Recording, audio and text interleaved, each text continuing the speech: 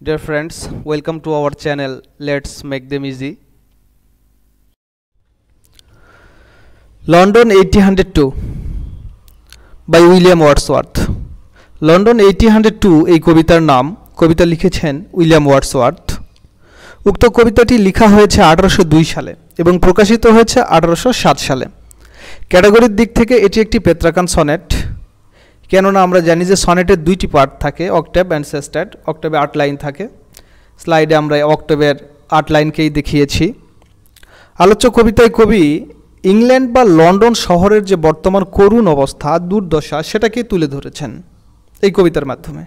এবং এই কবিতায় এই অবস্থা থেকে উত্তরণের জন্য উপায় খুঁজেছেন, যার প্রতীক হিসেবে তিনি কবি জন মিল্টনকে আহ্বান করেছেন। কেন জন মিল্টনকে আহ্বান করলেন উইলিয়াম ওয়ার্ডসওয়ার্থ? কেননা, জন মিল্টনের মধ্যে কিছু পজিটিভ কোয়ালিটি ছিল যা কন্টেম্পোরারি পোয়েটদের মধ্যে ছিল না। তিনি একটু ব্যতিক্রম ব্যতিক্রম ছিলেন এক্সেপশন ছিলেন। এবং উইলিয়াম ওয়ার্ডসওয়ার্থ ব্যক্তিগত জীবনেও জন মিল্টনের দ্বারা ব্যাপকভাবে প্রবাহিত হয়েছিলেন, প্রভাবিত হয়েছিলেন। তাই তাকে আহ্বান করেছেন। কবিতায় আমরা লাইন বাই লাইন চলে যাচ্ছি। মিল্টন। এখানে এক্সক্লেমেশন চিহ্ন দেখা যাচ্ছে। অর্থাৎ কবি আবেগজড়িত কণ্ঠে মিল্টনকে আহ্বান করেছেন, Milton the shouldest be living at this hour এই সময় বেঁচে থাকা তোমার অনেক উচিত ছিল। এই সময় তোমার বেঁচে থাকা উচিত ছিল। দিস আওয়ার বলতে এখানে এই ঘণ্টা না, এই সময়টাকে বোঝাচ্ছে। অর্থাৎ মিল্টনকে তিনি ডেকে বলছেন যে, এই সময় তোমার বেঁচে থাকা উচিত ছিল। England hath need of the ইংল্যান্ডের এখন তোমার অনেক প্রয়োজন। She is fen of stagnant waters stagnant অর্থ হচ্ছে স্থির পানি বা জল। শি ইজ ফ্যান এই ফ্যান বলতে নর্দমার নোংরা জলকে বোঝানো হয়েছে। নর্দমার নোংরা জলের সঙ্গে তুলনা করা হয়েছে বর্তমান ইংল্যান্ডের বা লন্ডনের সেই অবস্থাকে। She is fen of stagnant waters সে নর্দমা নোংরা জলে পরিণত হয়েছে। Altar sword and pen altar এখানে বেদি না, প্রতীকী অর্থে অল্টার দ্বারা চার্চম্যানকে বোঝানো হয়েছে। অর্থাৎ পাদ্রি, তিনি বুঝাতে চেয়েছেন এই অল্টারটাও নষ্ট হয়ে গেছে। অর্থাৎ ধর্ম ধার্মিকতা এখানে নেই। ধর্ম এবং ধার্মিকতাও নষ্ট হয়ে গেছে। সোর্ড সোর্ড এখানে তলোয়ার না, তিনি সোলজার বুঝিয়েছেন।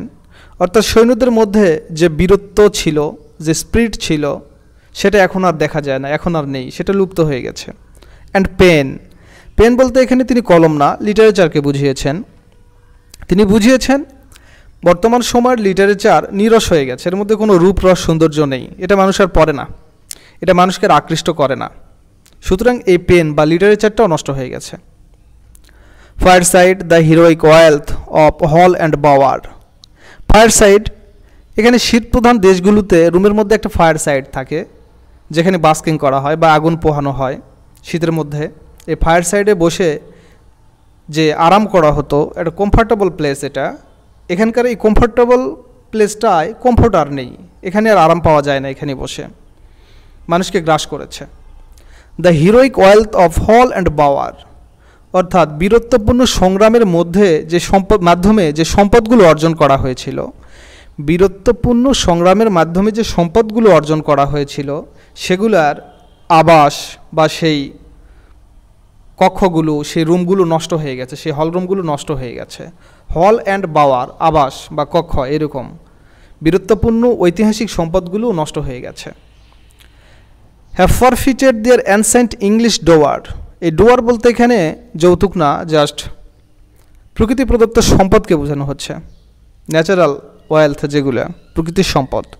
হ্যাভ ফরফিটেড এগুলো জব্দ হয়ে গেছে, এগুলো ন্যায় হয়ে গেছে। অর্থাৎ ইংরেজদের প্রাচীন যে প্রকৃতি প্রদত্ত সম্পদ ছিল এগুলো নষ্ট হয়ে গেছে, লুপ্ত হয়ে গেছে, জব্দ হয়ে গেছে।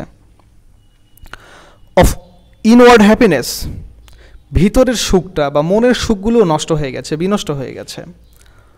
উই আর সেলফিশ ম্যান আমরা স্বার্থপর মানুষ। ও raise us up turn to us again বলছে ওহ রেইজ আস আপ আমাদের আবার জাগিয়ে তোলো। আমাদের জাগিয়ে তোলো। রিটার্ন টু আস এগেইন আমাদের আগের জায়গাতে নিয়ে চলো। রিটার্ন করে নিয়ে চলো। অর্থাৎ ইংল্যান্ডের এক সময় যে খ্যাতি ছিল, যশ ছিল, এখন আর নেই। কবি উইলিয়াম ওয়ার্ডসওয়ার্থ মিল্টনকে এইভাবে বলেছেন, আমাদের সেই সময়ে ফিরিয়ে নিয়ে যাও, আবার সেই সময় নিয়ে যাও। রাইজ রাইজ করো আমাদের, আমাদেরকে জাগিয়ে তোলো। And give us manners virtue freedom power give us দাও আমাদের ম্যানার ভদ্রতা বা আচরণ দাও, ভালো আচরণ দাও ভার্চু গুণ শিক্ষা দাও, আমাদেরকে সদ্গুণ দাও। ফ্রিডম স্বাধীনতা দাও অ্যান্ড পাওয়ার এবং শক্তি দাও। তিনি মিল্টনকে বলছেন, আমাদের আচরণ শিখাও, সদ্গুণ দাও, স্বাধীনতা দাও, ক্ষমতা দাও the soul was like a star and dwelt apart বলছে, তোমার আত্মা একটা তারকার মতো ছিল। The soul was like a star তোমার আত্মাটা একটা তারকার মতো ছিল। তারকারা যেমন কি করতো, আলোকিত করত, তেমনি একজন আলোকিত মানুষ জন মিল্টন, সে তার সময়টাকে আলোকিত করেছিল অ্যান্ড ডুয়েল অ্যাপার্ট এবং দূরে থাকতো। কোথা থেকে দূরে থাকতো? এই মন্দ কাজগুলো থেকে সে দূরে থাকতো। Thou hadst a voice who sound was like the sea এবং তোমার একটা কণ্ঠস্বর ছিল যেটা সাগরের মতোই, সাগরের শব্দর মতোই। কবি বোঝাতে চেয়েছেন সাগরের যেমন একটা গর্জন রয়েছে, তেমনি জন মিল্টনেরও একটা ভয়েস ছিল, তেমন একটা গর্জন ছিল। Pure as the naked heavens majestic free pure as the naked heaven এই ন্যাকেট হ্যাভেন মানে খোলা আকাশ বোঝাচ্ছে। খোলা আকাশের মতোই পবিত্র ছিল। ম্যাজেস্টিক, উদার ছিল, ফ্রি ছিল, মুক্ত ছিল। অর্থাৎ তোমার আত্মাটা খোলা আকাশের মতোই মুক্ত, উদার এবং পবিত্র ছিল। So didst thou travel on life's common way সুতরাং তুমি একটা স্বাভাবিক জীবনযাপন করতে কমন ওয়েতে তুমি লাইফ লিড করতে। একটা সিম্পলিসিটি ছিল তোমার জীবনযাপনের মধ্যে। তুমি সরল জীবনযাপন করতে। মিল্টনকে বোঝানো হয়েছে। In cheerful godliness and yet thy heart বলছে চেয়ারফুল গডলিনেস প্রফুল্ল একটা ধার্মিকতা ছিল অ্যান্ড ইয়েট দাই হার্ট তোমার হৃদয়ের মধ্যে। তোমার হৃদয়ে একটা প্রফুল্ল ধার্মিকতা ছিল। The lowest duties on herself did lay এলে মানে বর্তানো ডিডলে তোমার উপরে যে দায়িত্বগুলো আরোপিত ছিল, সেই দায়িত্বগুলো একেবারে যে বড় ছিল এমনটি না। লোয়েস্ট ডিউটিস অর্থাৎ তোমার কাছে যে ছোট ছোট বা নগণ্য কাজগুলো তোমাকে দেয়া হয়েছিল বা আরোপিত করা হয়েছিল, সেই কাজগুলো তুমি হৃদয় দিয়ে, মন দিয়ে হ্যাঁ প্রফুল্ল গডলিনেসের মাধ্যমে বা ধার্মিকতার মাধ্যমে সেগুলো তুমি করতে। সংক্ষিপ্ত কথা, ছোট বড় কাজের মধ্যে কোনো ব্যবধান ছিল না। ছোট কাজগুলো তিনি বা তুমি খুব যত্ন সহকারে করতে, যা তোমার উপর দেয়া হয়েছিল। Thanks for watching